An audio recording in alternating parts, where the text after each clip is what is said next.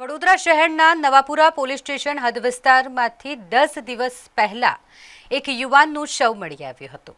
આ યુવાનનો મૃતદેહ મળી આવ્યો હતો અને ત્યારબાદ પરિવારના લોકો દ્વારા તેનું મર્ડર કરવામાં આવ્યું છે તેવા આક્ષેપો કરવામાં આવ્યા હતા. આ આક્ષેપો પરિવારના લોકો દ્વારા કરવામાં આવ્યા અને સાથે તેમના દ્વારા આ અંગે પોલીસને પણ જાણ કરવામાં આવી હતી, પરંતુ આટલા દિવસો વીતી ગયા છે, તે છતાંય પોલીસ દ્વારા આ મામલે કોઈ કાર્યવાહી નથી કરવામાં આવતી. ત્યારે આખરે આ પરિવાર આજે પોલીસ કમિશનરની કચેરીએ પહોંચ્યો હતો, જ્યાં તેમના દ્વારા પોલીસ કમિશનરને રજૂઆત કરવામાં આવી રહી છે. મારું નામ નરેશભાઈ છે, નરેશ સોલંકી. અને અમે તેર તારીખનો એક બનાવ બન્યો હતો નવાપુરા છપ્પન કોટર હરિજનવાસની અંદર. હર્ષ નામના છોકરાનું જે હત્યા થયેલી હતી. એકચ્યુઅલી એવું હતું બનાવમાં કે છપ્પન કોટર હરિજનવાસમાં તેરમી તારીખે રાત્રે કૃષ્ણા નામની એક છોકરી હતી જેનો પ્રેમ પ્રકરણ હતું, પ્રેમ સંબંધ હતો. હર્ષનો અને કૃષ્ણા નામની છોકરીનો. કૃષ્ણાએ રાત્રે હર્ષને ઘરે મળવા માટે બોલાવ્યો હતો અને પછી અડધો કલાક પછી શું બનાવ બન્યો? પણ ક્રિષ્ના પછી હર્ષના ઘરે બોલાવવા માટે ગઈ અને કીધું કે ભાઈ, તમારો છોકરો મારા ઘરે લોહી લુવાણ હાલતમાં પડ્યો છે. એટલે હર્ષના મોટા ભાઈ ધવલ એના મમ્મી નૈનાબેન ત્યાં કૃષ્ણના ઘરે જઈને જોયું તો હર્ષ ત્યાં લોહી હાલતમાં ઘરમાં પડ્યો હતો.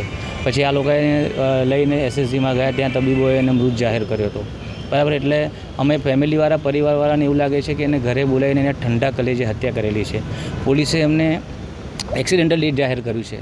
પોલીસે એડી જાહેર કરી છે એક્સિડેન્ટલ ડેટ જાહેર કરીને ગુનાની તપાસ આગળ વધારતા નથી. અમારી એફઆઈઆર પણ નથી કરી, અમે જે અરજી આપેલી અરજીને લોકો ધ્યાનમાં પણ નથી લીધી અને અમને ધક્કા ખવડાવે છે. અમને નવાપુરા પોલીસ સ્ટેશન તરફથી અને એસસીપી જે મેઘા તેવર છે એમણે અમારી પાસે અજગતું વર્તન કર્યું છે. અમે વાલ્મીકી સમાજના હોવાથી અમને એવું લાગી રહ્યું છે કે એ લોકોએ અમને ન્યાય આપવામાં કંઈ કચાશ કરે છે અને આ બનાવની પર પડદો નાખે છે.